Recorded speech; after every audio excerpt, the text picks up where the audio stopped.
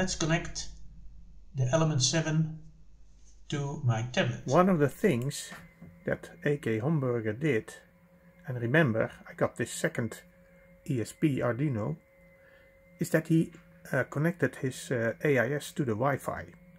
And that made me think maybe I can connect my plotter. By the way, here you see the AIS data on my plotter. There is the box that I had over my Arduino and there you see the wind information. So here's my plotter. If I go to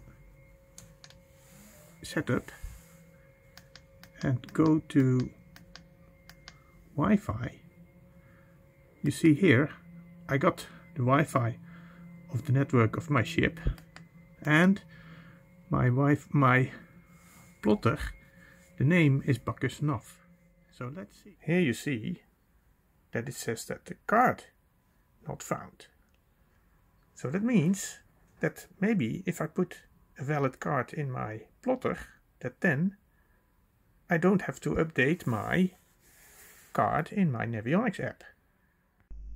I showed you I had a cover for my ESPs. It's this one and it seems to fit exactly but there's these little things inside. You can get them out by just cutting them out. But use a heat gun to heat it first and then it goes like a knife. Through the butter. So here's the second board and it's going to put the AIS data on the Wi-Fi. And here's my tablet. And there you can see the ships from AIS and this red one is causing the alarm. I switched off my uh, plotters. So the alarm now comes from the ESP device. That's nice. Here's the hobby project that I got.